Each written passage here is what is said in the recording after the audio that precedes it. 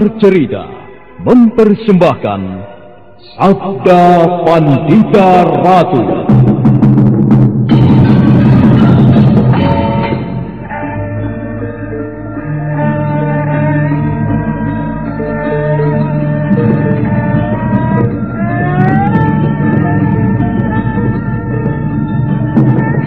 Kureguk anggur Mahadewa, kucicipi madu sabdanya, Bumi ku remas dalam genggamanku, matahari dan rembulan ku telan dalam perutku.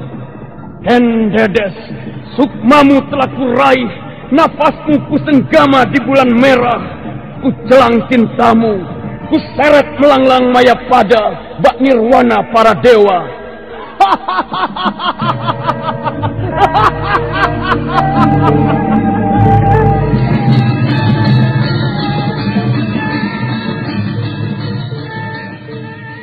mungkin aku akan menjadi bunga yang bisa kau petik dan kau sunting? Sementara jika layu, akan kau campakkan begitu saja. Seperti cermin retak yang tak berharga. Sabda Pandita Ratu, sebuah kisah penuh dilema, tragedi cinta anak manusia, perebutan tahta, mabuk harta dan duniawi, serta silaunya kehormatan, di mana keangkara murkaan merajalela karena dendam yang membara. Kisah ini berlatar belakang berdirinya Singasari. Ken Arok, dialah pemuda yang merekuk pahit getirnya kehidupan. Namun sebenarnya, dialah yang harus melaksanakan sabda-sabdanya. Perjalanan sengsaranya adalah awal untuk meraih keberhasilan, untuk menuju kejayaannya di saat Singasari berdiri.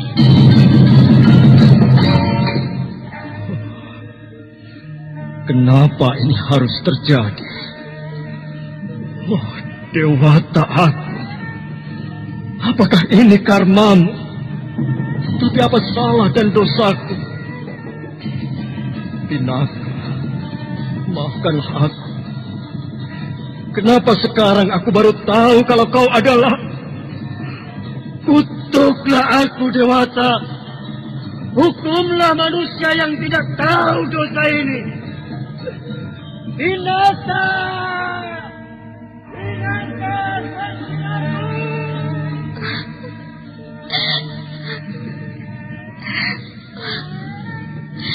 Beginikah perjalanan hidupku?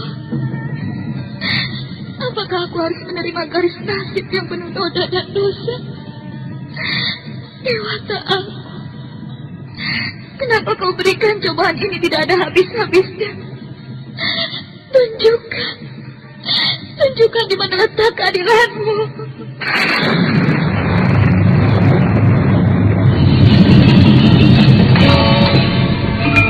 Apakah cita-citamu itu, Kenomang? Aku ingin mengubah nasibku. Aku bosan dengan kehidupanku selama ini yang terlunta-lunta, akrab dalam pelukan kemelaratan. Kadangkala aku berangan-angan, aku adalah seorang istri dari Patih. Bahkan lebih gila lagi, berangan-angan, andai kata aku adalah seorang permaisuri, maka akan terhapus semua masa silamku, terhapus lenyap, tidak bersisa semua kenangan buruk yang kumiliki. Itulah cita-citaku Kakang Ken Arok. Bagaimana dengan kau Kakang? Aku ingin menjadi seorang raja.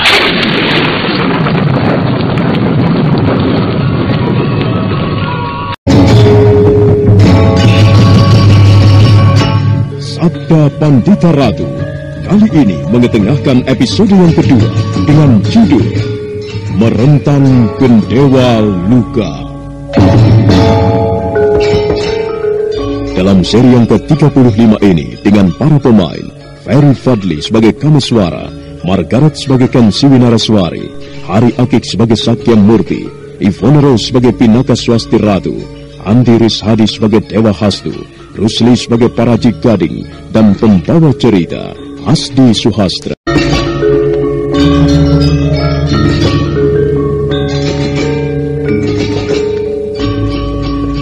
Didorong oleh nalurinya untuk menolong sesama, Kameswara dan Kensiwi Naraswari segera menolong orang yang tergeletak terluka parah.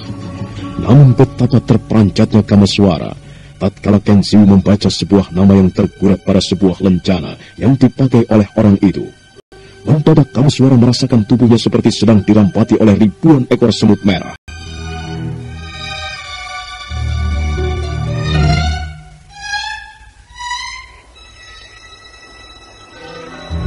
Kakang, apakah Kakang mengenal kedua orang ini? Kita tidak perlu menolongnya, Kensiwi. Kenapa, Kakang? Aku tidak akan peduli andai kata orang ini mati sekalipun. Aku pun tidak akan peduli seandainya harimau mencabik-cabik tubuhnya. Aku tidak peduli. Aku tidak peduli. Aku tidak peduli. Kakang! Kenapa Kakang bersikap aneh? Aku tidak yakin Kakang bersikap seperti ini. Kita harus menolongnya. Siapa pun orang itu. Tapi agaknya Kakang mengenal orang itu. Siapakah dia, Kakang? Orang ini. Orang inilah yang aku cari-cari di kota Raja Kediri.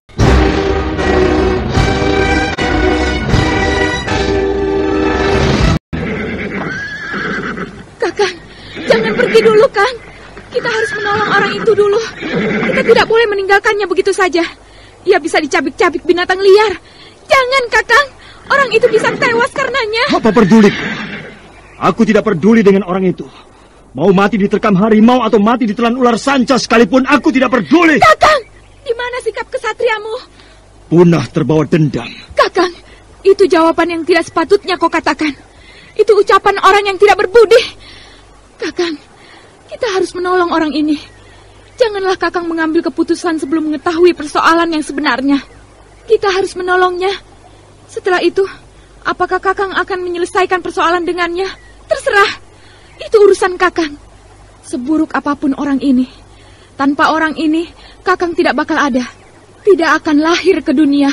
Dan adalah suatu hal yang sangat tidak sepatutnya. Ada seorang anak yang tega terhadap kematian ayahnya.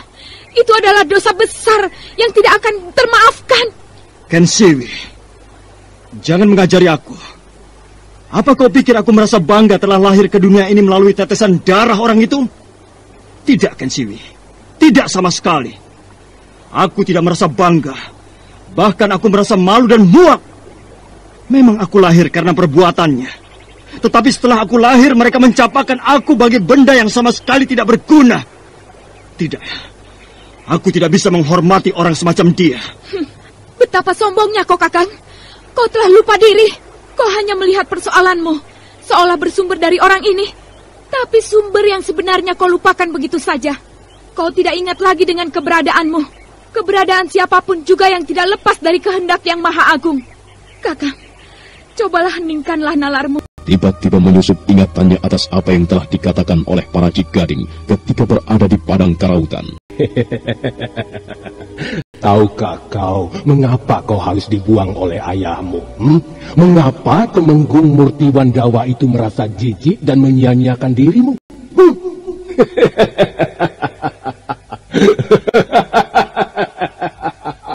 Jawabnya adalah karena kau adalah anak yang lahir dari penyelewengan istrinya. oh, kau dengar itu kamu suara?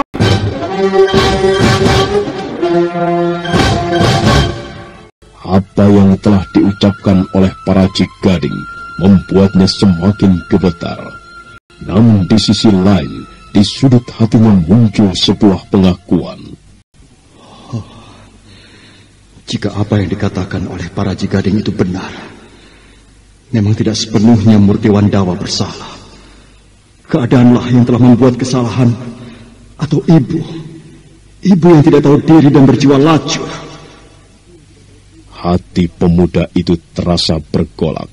Rasanya jawaban demi jawaban ingin dicarinya. Tapi tiba-tiba... Parat! Parat! Kakak, tenanglah kakak. Tenang. Terserah apa pun yang akan kau perbuatkan, Ciwi. Berbuatlah. Kalau kau mau menolongnya, tolonglah. Aku muak. Aku muak kepada orang itu. Aku muak kepada perempuan bermoral bejat yang tidak menghargai kesetiaan dan memberi kesempatan lelaki lain menjamahnya. Oh, dengan cara itulah aku lahir. Aku muak. Aku muak. Tenanglah, tenanglah kakak. Aku mohon, Kakang dapat mengendalikan perasaan. Aku bisa mengerti perasaanmu, Kakang.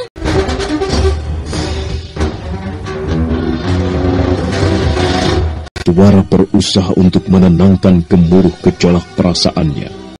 Ia duduk pada sebuah akar pohon besar. Sedangkan adiknya Ken Siwi Naraswari segera memeriksa tubuh lelaki yang sedang tergeletak pingsan di rerumputan itu. Darah meleleh yang keluar dari mulutnya segera dibersihkannya. Dan dengan cekatan sekali, gadis itu meneliti serta mencari penyebab luka yang diderita oleh ini jelas baru saja terlibat dalam sebuah pertarungan. Dadanya terhantam Aji Pamungkas. Entah Aji Pamungkas apa. Hanya ada sebuah cara untuk membantu mempercepat penyembuhannya. Kita harus membantu menormalkan aliran darahnya yang tidak karuan. Dan menenangkan detak jantungnya yang terpacu bagaikan tidak terkendali. Ayolah, bantu aku kakak. Tanpa menunggu jawaban Kameswara, gadis itu segera memejamkan matanya memusatkan nalar dan budinya. Dipusatkan seluruh kepandaian yang dimilikinya pada telapak tangannya. Kemudian telapak tangannya itu diletakkan pada tubuh orang itu. Sambil menggigit bibirnya, kami suara memperhatikannya. Dan tiba-tiba saja dia bangun dari duduknya, mendekati Siwi dan membantunya. Hampir bersamaan, di samping pusara ayah dan ibunya, Pinaka Swasti Ratu terus meratap.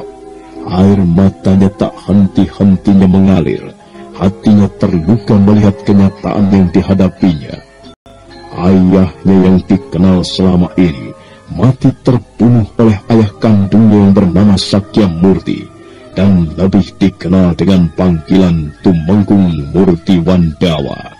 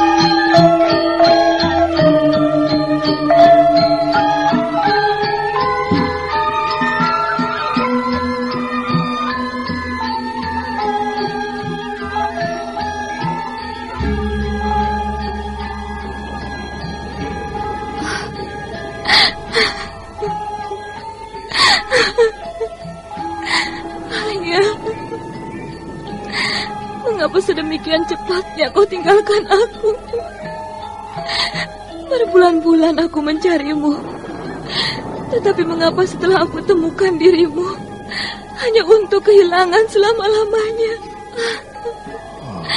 Ayah, seandainya saja aku diizinkan, aku ingin ikut pergi menyusul ibu. Sudah, Lu.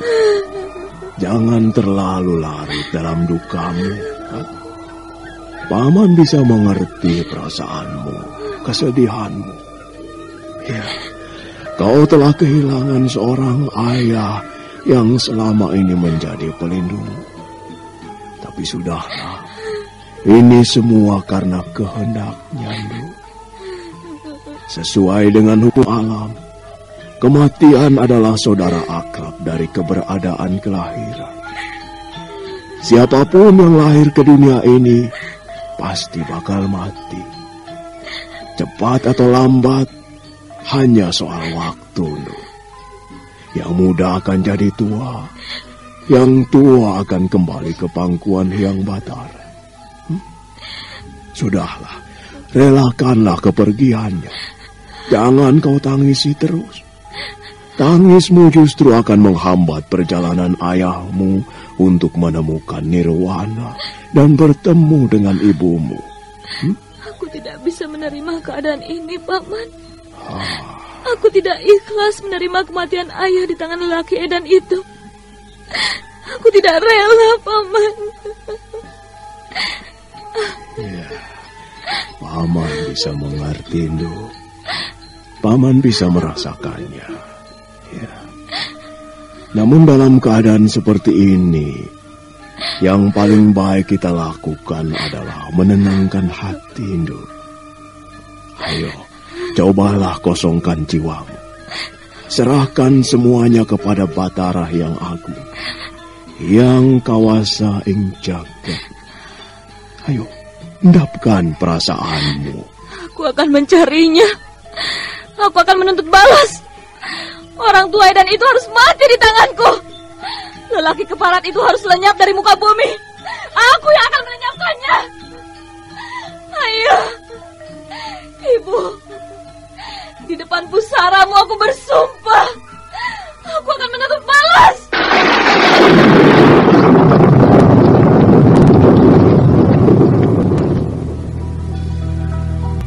Oh, apakah aku ini masih hidup?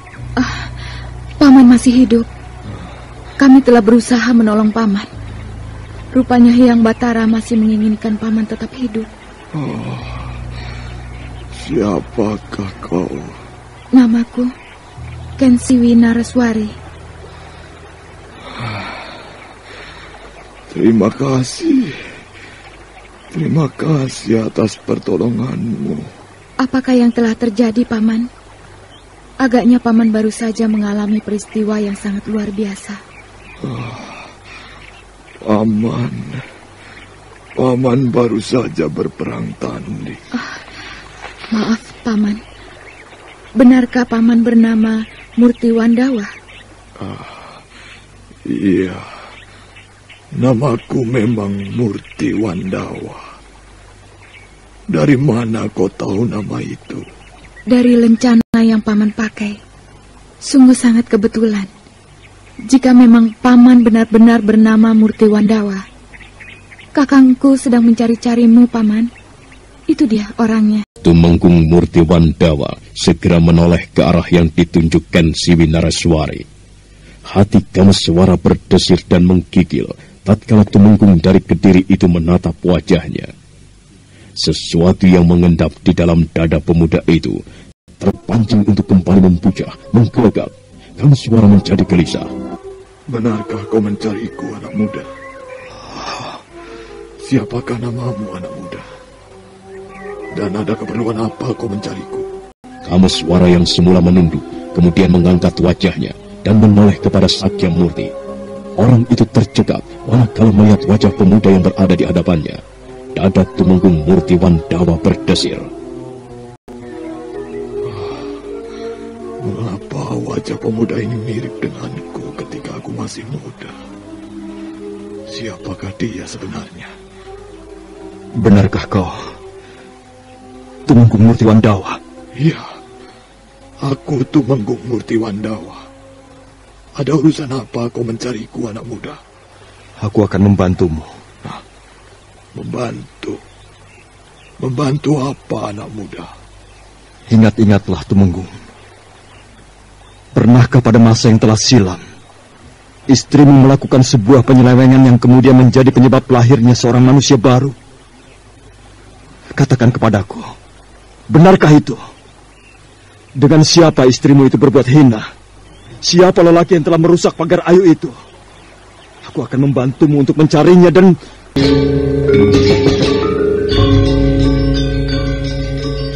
Tumenggung Murti Wandawa sangat terkejut ketika memperhatikan wajah Kameswara yang sangat mirip dengan wajahnya di kala masih muda. Lebih terkejut lagi ketika pemuda itu menawarkan diri untuk membunuh lelaki yang telah merusak pagar ayu istrinya. Betapa pemuda itu menatapnya dengan tatapan yang paling sirik dan ganas menyebabkan dada Tumenggung Murti Wandawa semakin berdebar. Apakah sebenarnya engkau ini anak muda? Nama tidak penting Tumenggung. Tetapi benarkah istri Tumenggung telah melakukan sebuah tindakan yang paling nista? Telah menodai kesetiaannya terhadap Tumenggung? Dari mana kau tahu masalah itu, anak muda? Dari mana aku tahu, itu juga tidak penting Tumenggung. Tetapi yang penting Tumenggung ketahui adalah Akulah manusia yang lahir dengan tidak terhormat tidak dikehendaki. Karena aku lahir dari buah penyelewengan yang paling hina yang hanya layak dilakukan oleh para hewan. Katakan Tumenggung, siapa lelaki yang telah menghina Tumenggung? Aku tidak marah kepada Tumenggung yang telah membuang bayi yang lahir dari perbuatan itu. Aku bisa mengerti betapa Tumenggung sedemikian tercoreng oleh perbuatan tercela itu. adalah layak dan wajar jika bayi yang lahir itu kemudian dibuang. Adalah layak dan wajar jika bayi itu dibunuh sekalipun. Nah, katakanlah Tumenggung, katakanlah kepadaku, siapa lelaki itu? Di mana pun ia bersembunyi, aku akan mencarinya, dan aku akan membunuhnya atas nama bayi itu dan Tumenggung. Bagaimana Tumenggung? Anak muda, apakah kau berasal dari lereng Gunung Raung sebelah selatan? Dan apakah kau putra Ki Ageng Pesanggaran? Oh, Tumenggung kenal dengan Ki Ageng Pesanggaran. Iya, dialah ayahku. Tetapi dulu sebelum aku tahu siapa sebenarnya diriku, ternyata Ki Ageng Pesanggaran bukan ayahku yang sebenarnya. Beliau hanya mengangkat aku sebagai putranya. Beliaulah yang telah merawatku sejak dari bayi. Sayang sekali rahasia diriku telah kudengar. Ternyata aku hanya anak pungut saja. Anak yang dipungut dari tepi jalan yang tidak dirawat oleh ayah bundanya. Bayi yang sangat menjijikan karena aku lahir ke dunia ini adalah buah dari penyelewengan yang dilakukan oleh istri seorang tumenggung. Aku adalah buah dari perbuatan yang paling nista dan paling memuakan. Betapa kerdilnya hatiku untuk tidak sudi menerima kenyataan itu. Sehingga lebih baik aku katakan kepadamu, aku bukan anak siapa pun. Aku lahir dari sebongkah batu yang berserakan.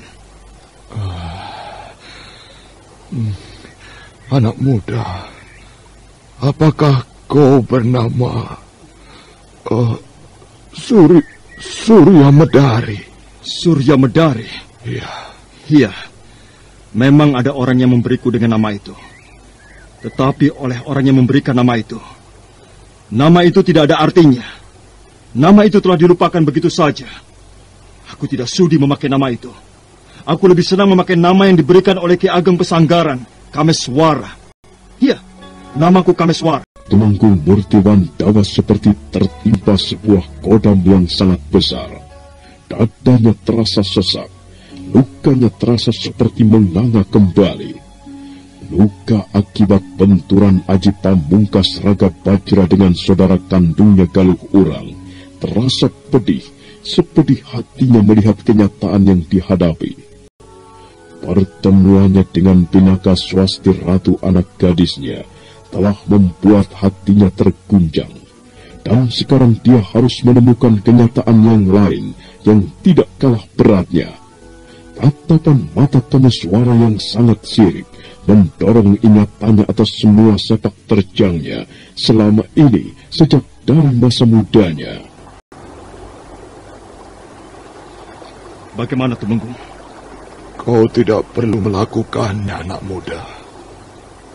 Hah, Tumenggung. Baru saja kami menolong Tumenggung. Tanpa pertolongan kami, Tumenggung pasti telah pergi dari dunia ini tubuhmu akan membusuk dan barangkali akan menjadi santapan binatang hutan. Nah, kau telah berhutang budi kepada kami. Tumenggung telah berhutang nyawa kepada kami. Sekarang bayarlah hutang itu dengan sebuah jawaban. Siapa lelaki yang telah melanggar pagar ayu istri Tumenggung? Jawablah, dan hutang nyawa Tumenggung akan lunas. Kau tidak perlu melakukannya, anak muda. Kau tidak perlu mencari lelaki itu. Mengapa, Tumenggung? Apakah orang itu telah kau bunuh? Oh, iya. Aku ingat. Aku ingat dengan kata-kata orang yang telah membeberkan rahasia diriku. Orang itu bernama Paraji Gading. Kalau tidak salah ia mengatakan, orang yang telah berbuat kurang ajar terhadap Tumenggung telah diberi imbalan olehmu, Tumenggung. Kau telah membunuhnya. Apakah itu betul, Tumenggung? Sebenarnya, sebenarnya akulah yang salah. Akulah yang telah berbuat gegabah Surya Medari. Jangan sebut namaku dengan nama itu. Ingat, namaku Kameswara. Kameswara, bukan Surya Medari. Nama itu terlalu agung. Aku bukan anak yang terhormat. Batara Surya bisa marah kepadaku bila aku menyandang nama Surya Medari. Aku tidak berhak menggunakan nama itu. Tidak. Akulah yang keliru, Kameswara. Sekarang aku percaya kau benar-benar anakku. anak yang lahir dari tetesan darahku.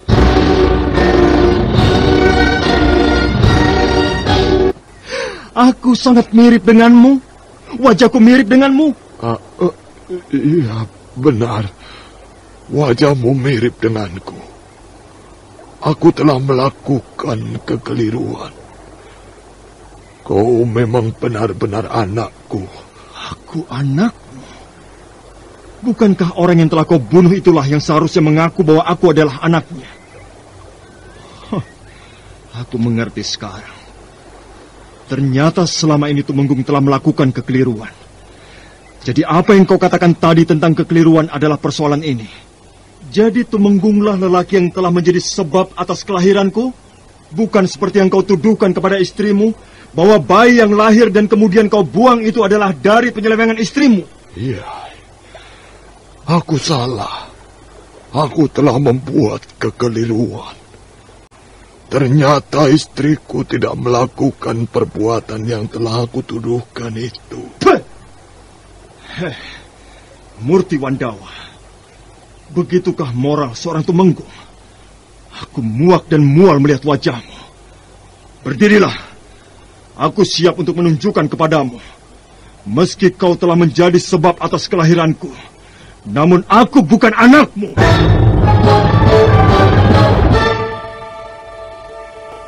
suara? Minggir kau kan sini. Apa yang akan kau lakukan, Kakang? Apa yang akan kau lakukan? Aku akan tunjukkan kepadanya. Kepada lelaki yang tidak tanggung-tanggung melukai perasaanku ini. Meski ia telah menjadi sebab atas kelahiranku ke dunia ini. Namun aku sama sekali tidak merasa bangga. Aku justru muak dan menyesal memiliki ayah sepertinya. Kakang, Kakang jangan kau lakukan itu. Oh, jadi apa menurutmu yang harus aku lakukan kepadanya, Kensiwi? Aku harus bersimpuh di hadapannya, memeluk kakinya, dan mengucapkan terima kasih karena kebaikan hatinya. Aku mendapat kesempatan untuk hidup dan menikmati kehidupan di dunia ini. Begitu? Tenanglah, kakang. Cobalah endapkan hati dan perasaanmu. Endapkanlah emosimu, kakang. Minggir kau, Kensiwi. Biarlah aku selesaikan persoalanku dengannya. Kakang, jangan kehilangan kendali. Jangan kau ikut campur dengan urusanku ini, Kensiwi. Ini persoalanku yang harus aku selesaikan dan aku tidak bisa menerima ikut campur orang lain. Kau telah menjadi liar, Kakang. Biarlah, Nduk. Biarlah ia mendapatkan apa yang ia kehendaki. Jangan kau halangi.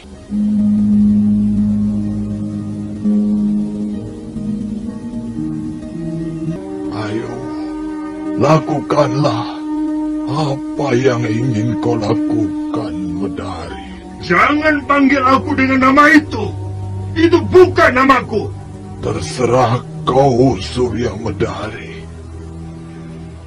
Terserah apakah kau tidak sudi aku panggil dengan nama itu atau tidak. Aku hanya mempertegas bahwa semua yang kau katakan adalah benar. Terlampau banyak kesalahan yang aku lakukan.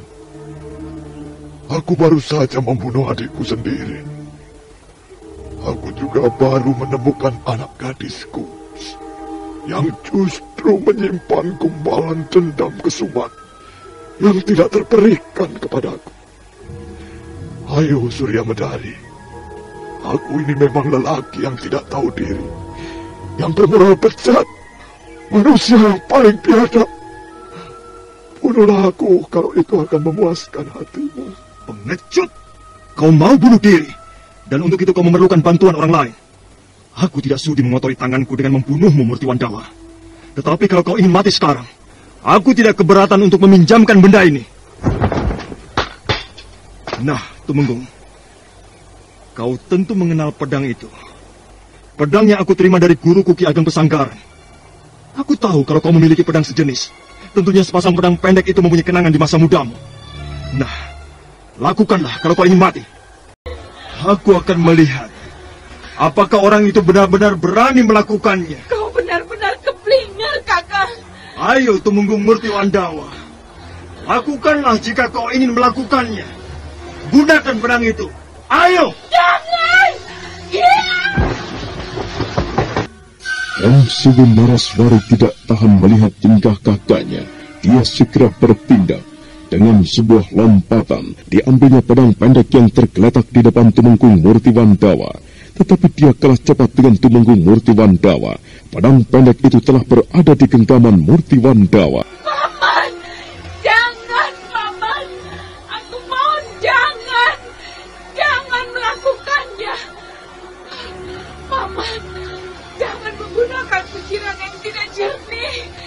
Jika hal ini akan memuaskan hatinya dan bisa aku pergunakan untuk menebus semua kesalahanku.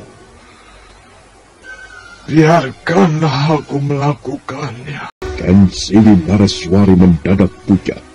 Dia merasa sangat kecewa sekali dengan tindakan Kamaswara yang menurut pendapatnya tidak tahu diri dan keras kepala.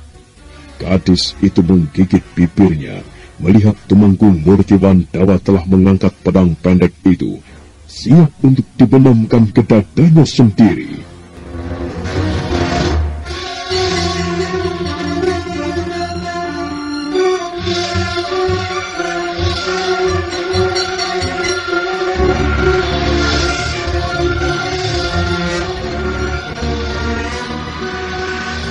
Semoga yang Batara serta para dewa akan mengampuni kesalahanku.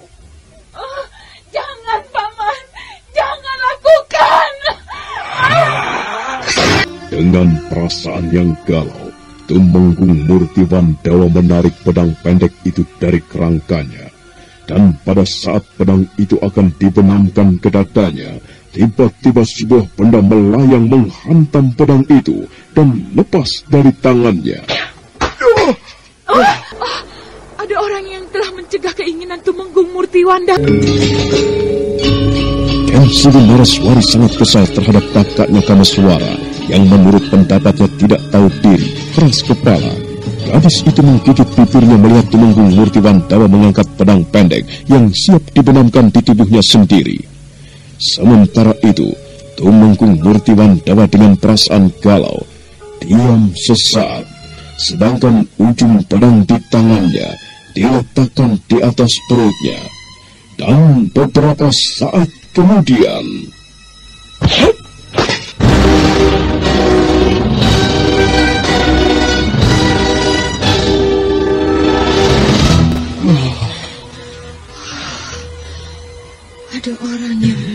perbuatan Tumenggung Murti Wandawa. Siapakah orang itu? Mengapa kau kehilangan akal Tumenggung?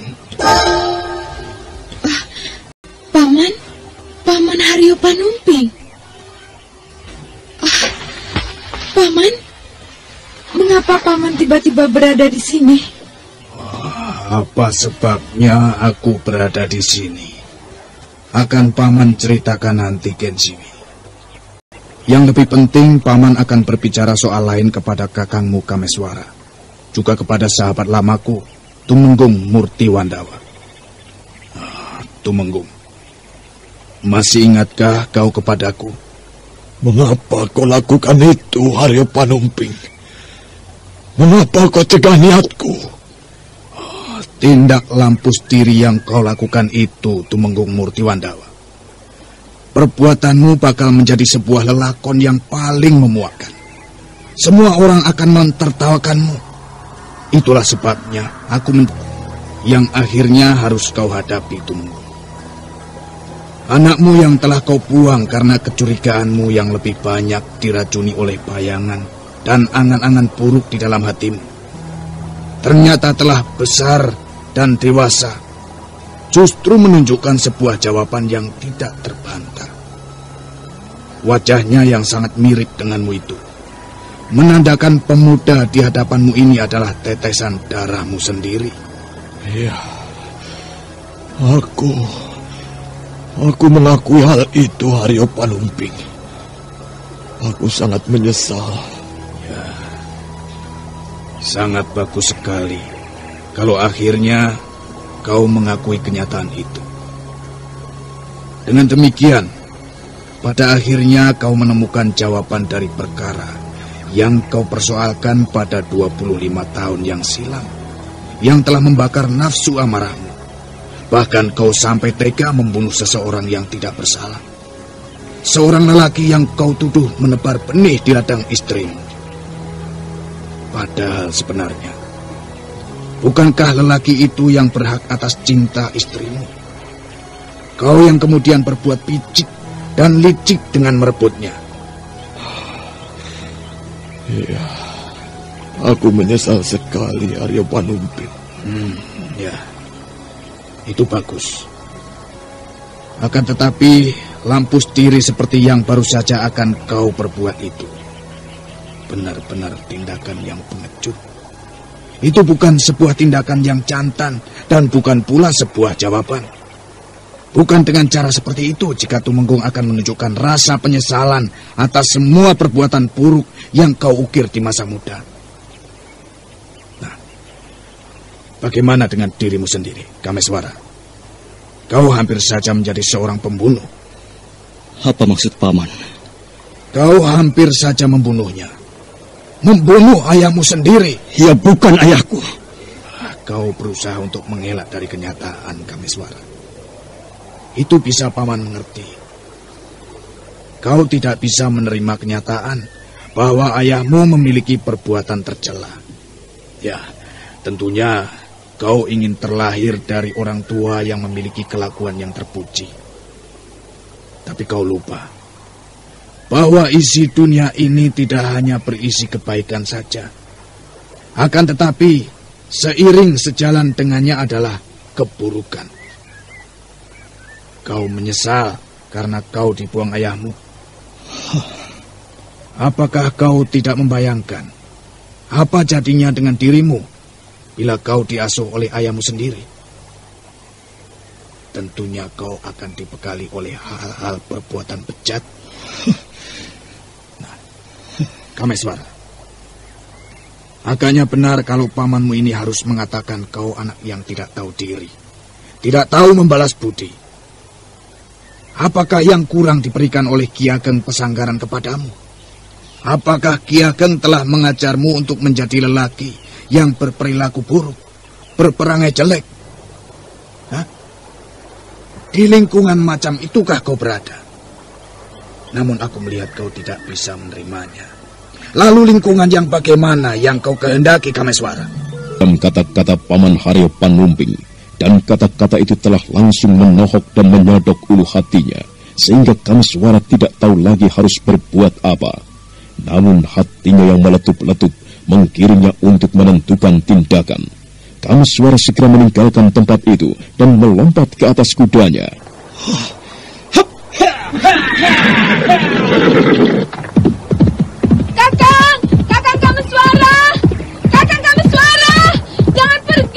Biarkan dia pergi, Kensiwi. Sementara itu, manakala Kamaswara pergi meninggalkan tempat itu, di tempat yang tersembunyi, seseorang mengintip semua peristiwa yang terjadi. Perlahan-lahan, orang itu segera bergeser menjauh, kemudian melesat ke arah seekor kuda yang disembunyikan di balik rimpunan pepohonan. Tumenggung Murti Wandawa berdiri termangu.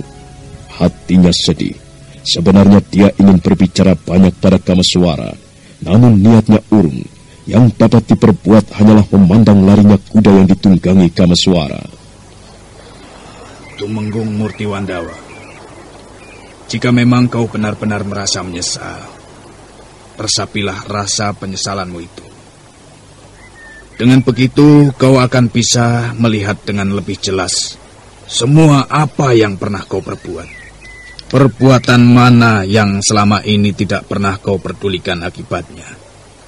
Tidak pula kau pedulikan hal itu akan menyakiti hati orang lain. Selamat berpisah, Tumenggung. Uh, Kensiwi, mari kita tinggalkan tempat ini. Paman, aku membawa seekor kuda. Sudahlah, tinggalkan kuda itu. Biarlah Tumenggung menggunakannya. Perjalanan ke Kambang Ayun hanya bisa ditempuh dengan perjalanan. Tidak ada lagi kata-kata yang terucap dari mulutnya. Dia sibuk merenung, atau dia tidak percaya dengan peristiwa yang baru saja terjadi. Bagaimana dengan kakang kami suara? Ada apa dengan kami suara?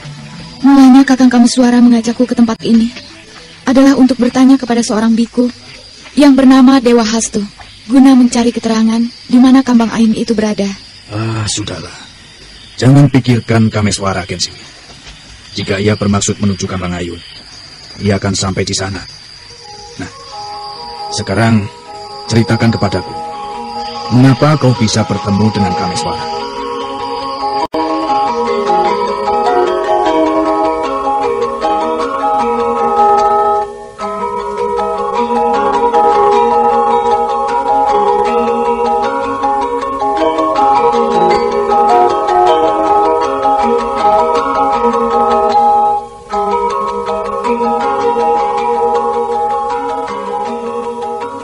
dan gamblang, Siwi Naraswari menceritakan semua pengalamannya tentang para Gading yang ternyata adalah anggota dari para perampok Padang Karautan dan tidak terlewat dengan seorang tua aneh yang telah menolongnya. Nampaknya Paman Haryo Pamimpin lebih memperhatikan perhatiannya tentang cerita pemuda aneh daripada para Gading yang telah berkhianat.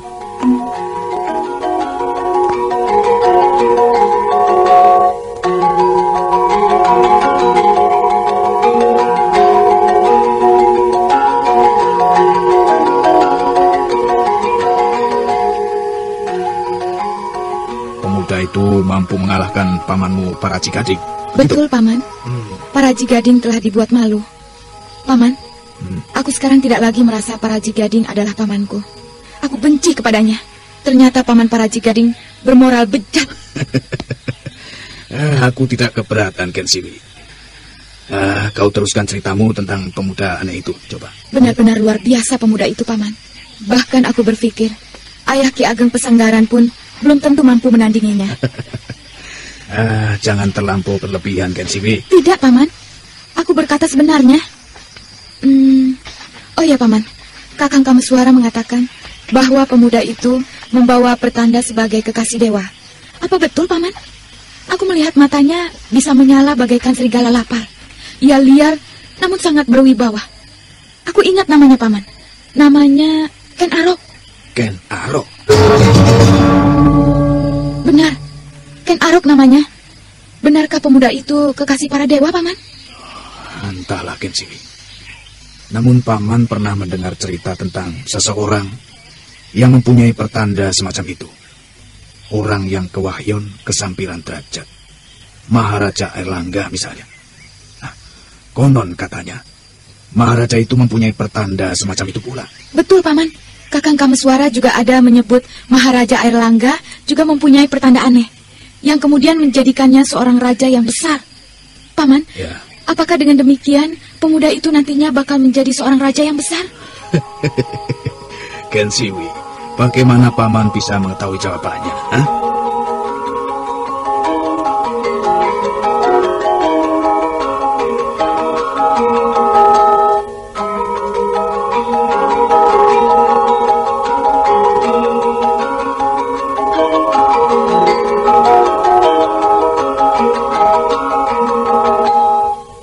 Pun merayap secara perlahan-lahan, seiring semua soal dan peristiwa yang terus terjadi. Seiring kegelisahan Ken Siwi atas ayahnya, Ki Ageng Pesanggaran, dan seiring gejolak cinta yang mulai tumbuh, namun tidak mungkin berakar, dan kemudian berkembang pada kakaknya Kameswara. Waktu yang berlalu seolah menyaksikan dengan penuh hikmat semua yang dialami Tumenggung Murti Wandawa. Keruh hati Kameswara dan tangis duka Pinaka Swasti Ratu yang telah kehilangan galuh urang. Sementara itu, Tumenggung Murti Dawa masih tetap terpaku di tempatnya, seperti orang sakit ingatan.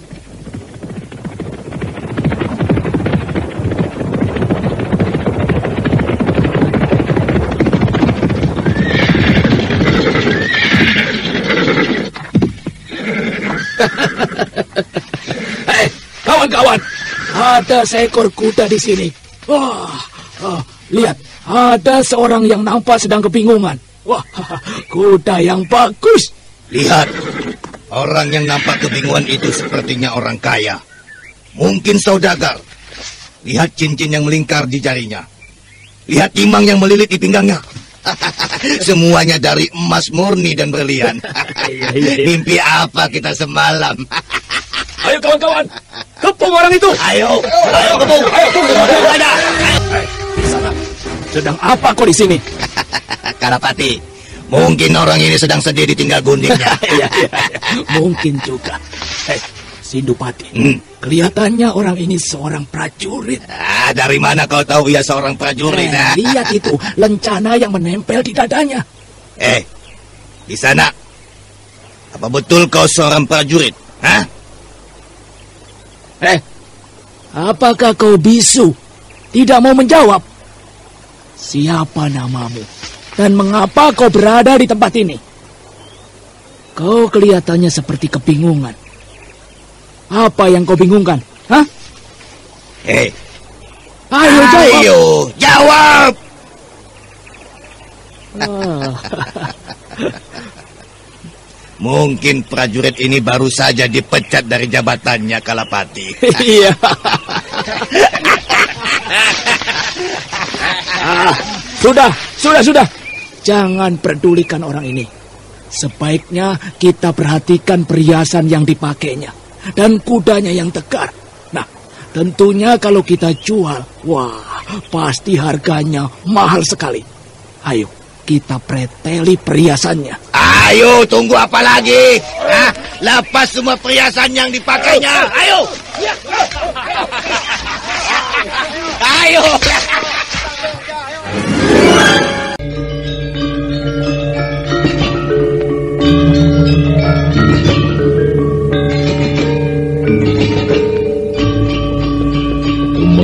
Murtiwan Dawa masih terpaku di tempatnya. Pikirannya seolah-olah melayang jauh entah ke mana. Rupanya peristiwa masa lalu yang pernah dia lakukan benar-benar telah memukul batinnya.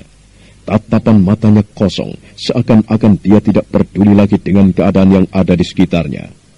Bahkan ketika muncul para perampok dan mempreteli semua perhiasan yang dipakainya, Tumenggung Murti Wandawa masih tetap tidak melakukan apa-apa.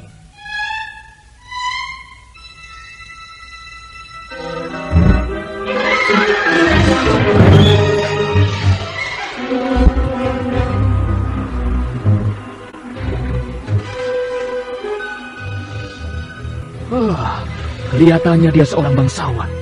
Dari perhiasan yang kita lucuti ini saja, menandakan bahwa dia orang yang kaya raya. Hari ini kita benar-benar beruntung. Baru kali ini kita mendapatkan hasil yang luar biasa. Dan mendapatkannya pun kita tidak mengalami kesulitan. Iya. Itu namanya sedang mucur. Sidupati, aku rasa orang ini di rumahnya masih menyimpan harta yang banyak. Nah, bagaimana kalau kita rampok saja sekaligus rumahnya? Wah, benar. Suatu usul yang bagus. Ah, kalau begitu, biar aku yang tanya di mana ia tinggal dan siapa namanya. Di sana. Sebut siapa namamu dan di mana tempat tinggalmu. Ayo, jawab. Atau kau akan merasakan tajamnya pedangku? Hmm? Sindupati, kelihatannya ia orang yang tulik. Atau mungkin ia orang yang kurang waras. Ia seolah-olah tidak mengacuhkan kehadiran kita dan juga pertanyaan-pertanyaan kita. Eh, Kakang, kalau dilihat dari lencana yang dipakai orang ini, ia bernama Murti Wandawa. Apa? Murti Wandawa? Hah, bagaimana kau tahu bahwa orang ini bernama Murti Wandawa? Eh, dari tulisan yang terukir di lencana itulah, saya mengetahuinya, Kakang. Oh iya iya, aku baru ingat. Di antara kita hanya kaulah yang bisa membaca dan menulis. Sindupati dan kawan-kawannya tidak menyadari kalau tiba-tiba saja Tumenggung Murti Wandawa bangkit berdiri. Rupanya setelah beberapa saat tak sadarkan diri, sekarang Tumenggung Murti Wandawa baru menyadari bagaimana keadaannya yang sebenarnya.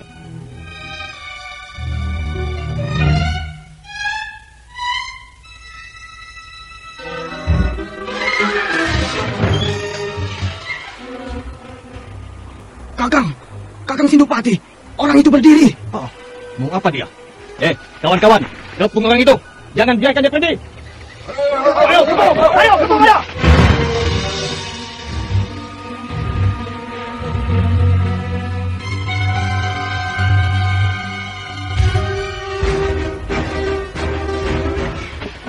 Apa yang ingin kau lakukan di sana? Mau coba pergi dari tempat ini? Hmm? Silahkan kalau memang itu yang kau inginkan. Tapi sebelum kau angkat kaki dari tempat ini, jawab dulu pertanyaanku.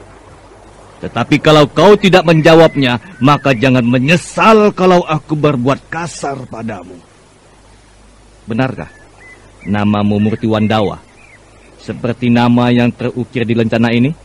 Hmm? Iya, benar. Itu memang namaku. Bagus. Mudah-mudahan kau tidak berdusta. Eh, lalu kau tinggal di mana di sana?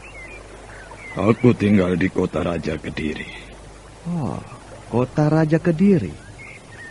Kalau kau tinggal di sana, artinya kau adalah seorang bangsawan yang kaya raya. Benarkah demikian Kisana? Hmm. Benar. Aku memang seorang bangsawan yang kaya. Suatu jawaban yang jujur. Aku percaya bahwa kau seorang bangsawan yang kaya raya. Dan tentunya kau adalah orang yang terkenal di kota raja. Kisana, kalau kuperhatikan, kau sudah tidak lagi membutuhkan semua kekayaan yang kau miliki. Uh, bagaimana kalau semua harta yang kau miliki itu kau serahkan padaku? Tentunya kau tidak keberatan, bukan? Hmm? Ambillah, ambil. Aku memang sudah tidak membutuhkan semua itu. luar biasa, luar biasa. Rupanya selain kau seorang bangsawan yang kaya raya, tetapi kau pun seorang dermawan yang hebat, yang tidak tanggung-tanggung menyerahkan semua harta yang kau miliki. Sindupati, hmm. bagaimana kalau sekarang ia kita biarkan pergi? Eh, hmm? tunggu dulu. Masih ada satu lagi yang ingin kukatakan. Kisana, ingat baik-baik kata-katamu itu. Kelak kami akan datang untuk mengambil semua hartamu. Hmm? Nah, sekarang pergilah dan bawa kudamu itu agar perjalananmu cepat sampai ke kota raja. Aku tak membutuhkan kuda itu lagi. Kalau kau mau, ambillah. Oh. Bagus. Terima kasih Kisana Murti Wandawa. Nah, silahkan pergi. Mudah-mudahan kau selamat dalam perjalanan pulangmu. Perampok yang dipimpin Sindupati dan Kalapati nampak tertawa terkekeh-kekeh melihat kepergian Temenggung Murti Wandawa. Sementara Temenggung Murti Wandawa sendiri tidak mengacuhkan apa yang baru saja dia alami. Dia terus melangkah dengan lesu hingga lenyap di balik rimbunnya dedaunan.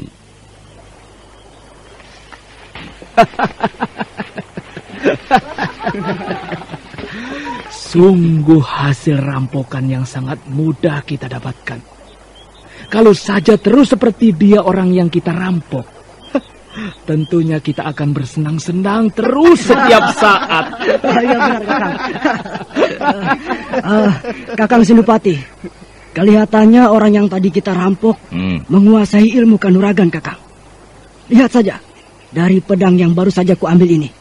Uh, oh,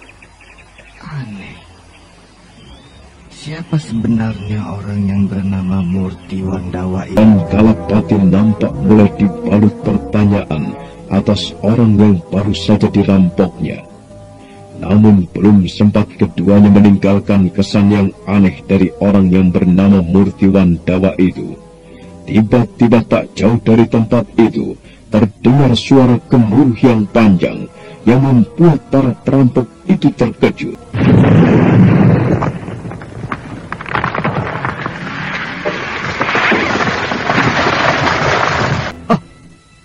Suara apakah itu Kalapati? Ah, sepertinya suara pohon roboh. Ya, suara itu datangnya dari arah sana, Bupati. Gila. Kalapati, ayo kita lihat ke sana.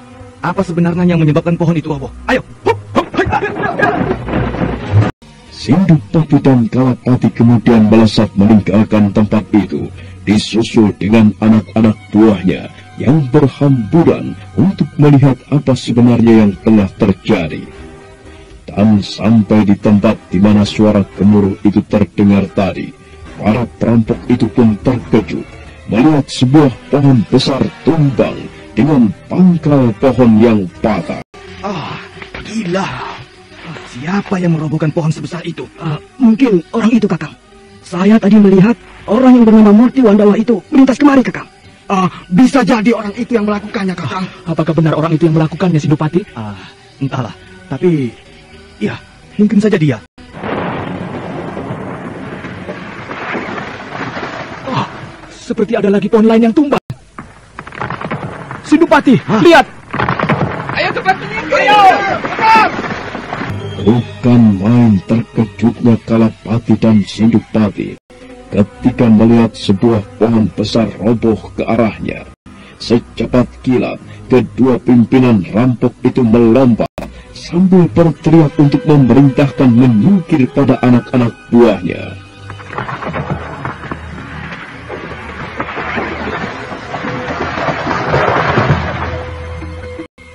Rupanya Tumenggung Murti Wandawalah yang membuat beberapa buah pohon besar tumbang semua yang dia lakukan ini sebenarnya hanyalah pelepasan dari segala kepepatan yang mengganjal di kepalanya. Akibat dari semua itu, tanpa disadarinya, dia telah mengeluarkan kekuatan Aji Raga Bajra. Sekarang Tumenggung Murti Wandawa sendiri, dengan wajah yang merah padam dan kedua tangan mendekap kepalanya, seakan-akan merasakan ada bayang-bayang yang menghantuinya. Ah, Sakya Murti, Sakya Murti, kau manusia keparat Sakya Murti. Jiwamu sungguh kotor, memuakan. Kau tidak pantas disebut sebagai manusia. Kau binatang, Sakya Murti! Murti Wandawa berteriak-teriak terus seperti orang yang hilang ingatan. Setelah beberapa lama dia berdiri sambil berteriak-teriak, tiba-tiba saja tubuhnya lunglai ke tanah. Namun begitu, dia nampak masih mendekati kepalanya.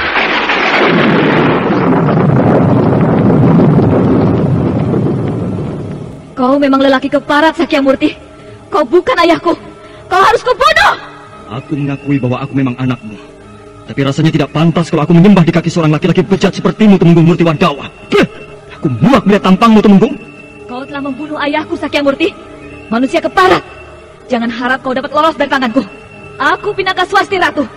Bersumpah demi dewa-dewa di langit. Sakya Murti harus mampus di tanganku. Kau harus kubunuh, Sakya Murti! Gung Murti Wandawa benar-benar tertekan batinnya. Bukan hanya bayangan-bayangan Kamspar dan Pinaka Swasti Ratu saja yang hadir dalam benaknya. Namun bayangan Luh Saraswati, orang yang pernah perkosanya, hadir juga dalam benaknya. Tumenggung Murti Wandawa seolah-olah merasakan bahwa ketiga orang yang disakitinya itu hadir sambil menuding-nuding wajahnya. Aku memang benar-benar manusia keparat. Sakya Murti memang harus dibakar. Keparat!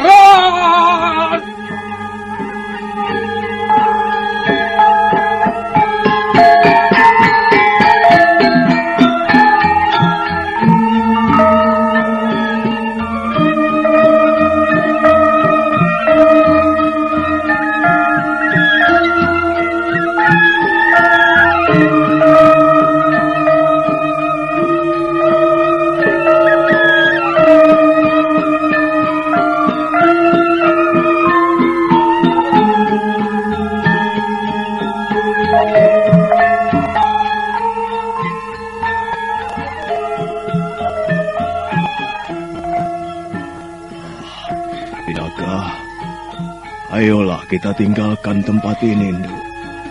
Tidak baik kau berada terus di sini. Hari sudah malam. Ah, tidak, Paman. Aku tidak akan meninggalkan tempat ini. Aku masih merindukan kedua orang tuaku. Sekalipun hujan akan turun menerpaku, aku tetap tidak akan beranjak dari sini.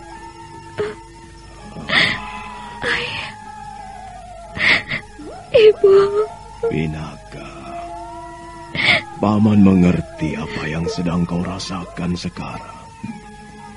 Tapi semua yang kau lakukan ini tidak baik, Nuk. Kau seolah-olah tidak merelakan takdir yang diberikan oleh Yang Widiwasa. Semua ini sudah jadi kehendaknya, Nuk. Ayolah.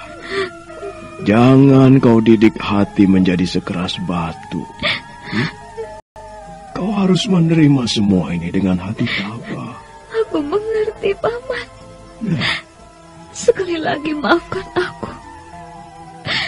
Kalau aku tidak ingin meninggalkan tempat ini. Biarlah aku berada di sini sampai hari menjelang besok. Pasti Ratu. Nafas panjang melihat kekerasan hati Pinaka Swasti Ratu yang tidak mau meninggalkan tanah pekuburan itu. Sebenarnya dia cukup mengerti apa yang ada dalam gejolak hati Pinaka Swasti Ratu. Namun Biku Dewa Hastu sendiri tidak bisa berbuat apa-apa untuk menentang keinginan gadis itu. Karena dia sendiri merasakan betapa semua itu cukup menyedihkan.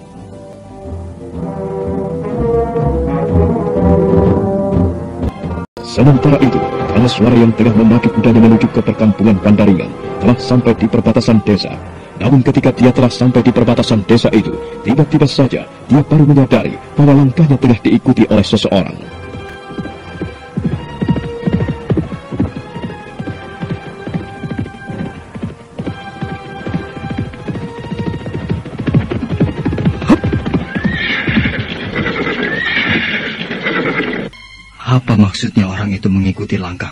Sampai di perbatasan desa ini? Aku akan menunggunya di sini. Aku mau tahu apa sebenarnya yang ia ingin. Oh, seorang laki-laki tua rupanya. Hmm. Kalau kulihat dari tatapan matanya, orang itu sepertinya tidak menyukaiku. Siapa sebenarnya orang ini? Rasanya aku belum pernah mengenalnya. Ah, Kiai. Apa sebenarnya tujuan Kiai mengikuti perjalananku sampai ke perbatasan desa ini? Dan siapa Kiai sebenarnya? Kamu suara nampak bingung sekali melihat orang yang disapanya tidak memberikan jawaban sama sekali. Laki-laki tua itu hanya menatap dengan tatapan mata yang tajam, tatapan mata yang penuh dendam. Nah, siapakah laki-laki bungkuk yang berada di hadapan Kamaswara itu? Dan bagaimanakah sikap Kamaswara dalam menghadapinya? Saudara pendengar, untuk mengetahui jawabannya, ikutilah kelanjutan kisah ini pada seri berikutnya. Sampai jumpa.